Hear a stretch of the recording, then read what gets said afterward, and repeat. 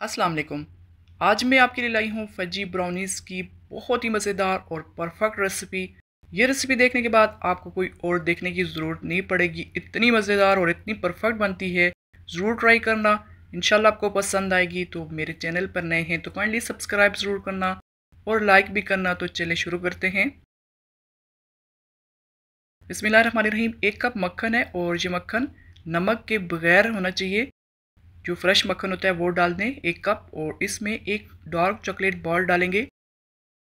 पूरा इस तरह एक चॉकलेट बार डाल देंगे। इसको माइक्रोवेव में या या चूल्हे पे आप इसको गर्म कर लें। और यहाँ पे तीन अंडे लेंगे। इनको अच्छे से फेंट लेना है। घर पे आसानी से बन जाती है और बहुत मज़ेदार बनती है। और एक कप इसमें आइसिंग शुगर डालेंगे। अगर आपके पास चीनी है तो घर वाली चीनी को पीस के उसको छान के इसमें डाल दें। और एक कप इसमें ब्राउन शुगर डालेंगे। अगर आपके पास ब्राउन शुगर नहीं है तो घर में जो गुड़ मौजूद है, उसको पीस के आप इसमें एक कप डाल दें। अब इसको इतने अच्छे से मिक्स करना है कि गुड़ और चीनी अंडे के साथ मिलकर अच्छा सा पेस्ट बन जाए। और एक चम्मच इसमें वनीला एसेंस डालेंगे। अब यहाँ पे आप चाहें तो इलेक्ट्रिक बीटर भी आप इस्तेमाल कर सकते हैं। उससे काम आसान हो जाता है और इस तरह भी आसानी से हो जाता है, लेकिन थोड़ा टाइम लगता है। ये देखें एकदम परफेक्ट ये बन गया है। अब हम इसमें डालेंगे ऑल पर्पज़ फ्लावर अगर आपके पास ये नहीं है तो आप इसमें मैदा डाल दें। और हाफ़ कप इसमें कोको पाउडर डालेंगे।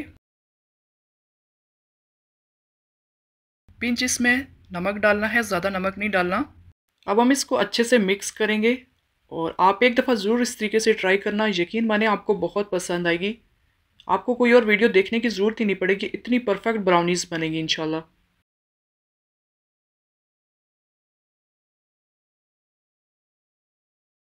और जो हमने मक्खन और चॉकलेट मिक्स किया था, वो इसमें डालेंगे। और फज्जी ब्राउनीज़ का बटर थोड़ा थिक होता है।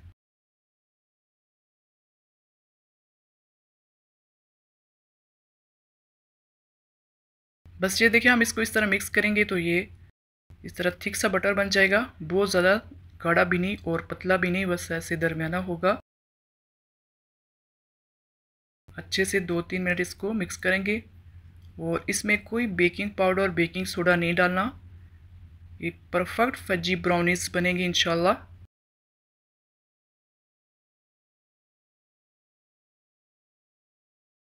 और यहाँ पे बेकिंग ट्रे है, इसको बटर पेपर लगा दिया। ये देखें, इस तरह का इसका बटर होना चाहिए तो ही आपकी परफेक्ट बनेगी इंशाल्लाह। इस तरह डाल के इसको अच्छे से फैला देंगे। चारों साइड पे इसको अच्छे से फैलाना है। और यहाँ पे आप चाहें तो इसमें चाको चिप्स डाल सकते हैं, और चॉकलेट भी काट के छोटी छोटी करके इसमें डाल सकते हैं। और अब हम ओवन को प्री हीट करते हैं 10 मिनट के लिए 180 डिग्री पे। अब हम इसको बेक करेंगे 30 से 40 मिनट के लिए और आप इसको 20 मिनट के बाद चेक कर सकते हैं। अभी सही नहीं पकी तो 10 मिनट आप इसको और कर लें। 40 मिनट तक ये बिल्कुल तैयार हो जाती है। ये देखें परफेक्ट हो गई है। अब हम इसको नीम गर्म होने के लिए रखते हैं। और मैं आपको काट के दिखाती हूँ। ये देखें जी, माशाल्लाह मक्खन की तरह नरम है। जिस तरह मक्खन कटते हैं, इसी तरह ये कटेगी। बहुत ही मज़ेदार। इतनी नरम और इतनी मज़ेदार। ये आप देखिए माशाल्लाह। परफेक्ट ब्राउनीज है ये। ज़रूर ट्राई करना इस तरीके से। यकीन करें, जिसको खिलाएँगे तारीफ़ करेगा इन इतनी मज़ेदार बनती है। आप इसको बना के फ्रिज में भी रख सकते हैं तीन चार दिन। जब आपको खानी है तो आप इसको पहले गर्म करें, माइक्रोवेव में फिर आप इसको सर्व करें। बहुत ही मज़ेदार है ये। आप एक दफ़ा इस तरीके से ज़रूर ट्राई करना और मुझे बताना आपको ये रेसिपी कैसी लगी। ये देखिए, माशाल्लाह, ज़बरदस्त।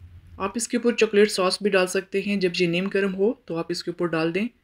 लेकिन उसके ही बहुत मज़ेदार है ये। मुँह में जाते साथ ही घुल जाएगी इतनी मज़ेदार मक्खन की तरह सॉफ्ट। और जिनको चॉकलेट पसंद है तो उनको तो ये बहुत पसंद आने वाली है, ये देखें माशाल्लाह।